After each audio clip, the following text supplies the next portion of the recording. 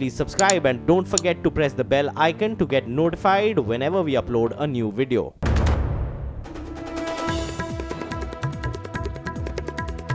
दक्षिण कश्मीर में पाकिस्तानी आतंकियों का एक नया वीडियो सामने आया है जिन्होंने हाल ही में घाटी में घुसपैठ की है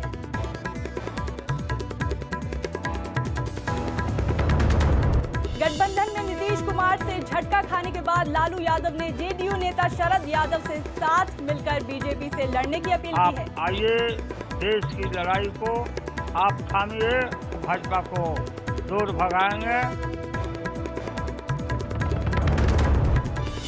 बिहार में गठबंधन बदलने के साथ ही नीतीश कुमार ने प्रशांत किशोर की सलाहकार पद से छुट्टी कर दी है।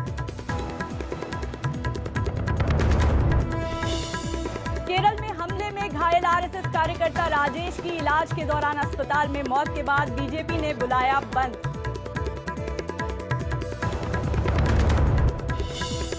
फूट से बचाने के लिए गुजरात से बेंगलुरु लाए गए कांग्रेस के विधायकों के फ़ोन जब्त कर लिए गए हैं और इगलटन रिजॉर्ट की सुरक्षा कड़ी कर दी गई है।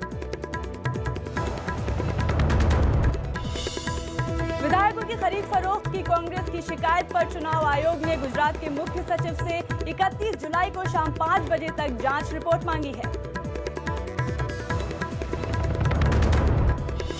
प्रधानमंत्री नरेंद्र मोदी आज देश से रेडियो के ज़रिए मन की बात करेंगे, जिसे दूरदर्शन पर भी प्रसारित किया जाएगा।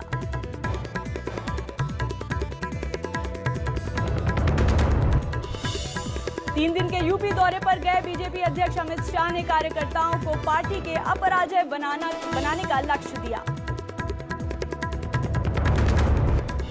केंद्रीय संसाधन, केंद्रीय मानव संसाधन मंत्री ने दिल्ली विश्वविद्यालय में एडहॉक के 9000 शिक्षकों के पद पर जल्द ही नियमित भर्ती का आश्वासन दिया है।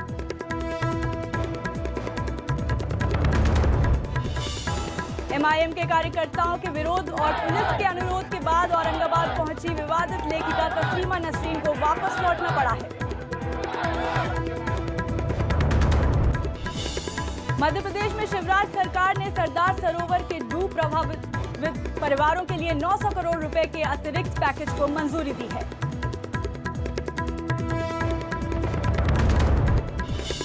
पाकिस्तान में प्रधानमंत्री पद छोड़ने के बाद पार्टी की बैठक में नवाज़ शरीफ बोले कोर्ट के फैसले की तारीख जाँच करेंगे. अब मैं तो रुखसत हो रहा हूँ और अब मैं समझता हूँ कि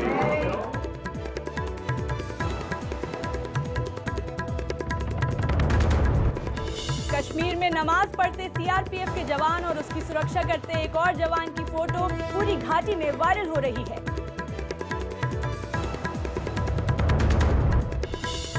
नागपुर में आरएसएस के पंथ पथ संचलन में अमेरिका, ब्रिटेन और ऑस्ट्रेलिया समेत तेरह देशों से आए पचास, पैंसठ अप्रवासी भारतीयों ने शिरकत की।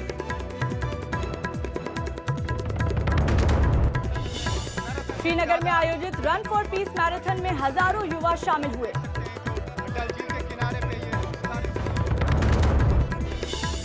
राजस्थान में बाढ़ से हालत खराब होने के बाद राहत और बचाव के लिए सेना के तीन और दस्ते तैनात किए गए।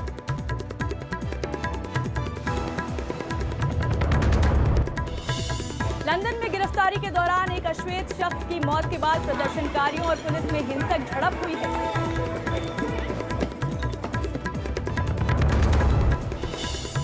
एनआईए की राय से अलग जम्मू कश्मीर की मुख्यमंत्री महबूबा मुफ्ती ने एलओसी से होने वाले व्यापार को बंद करने का कड़ा विरोध किया है।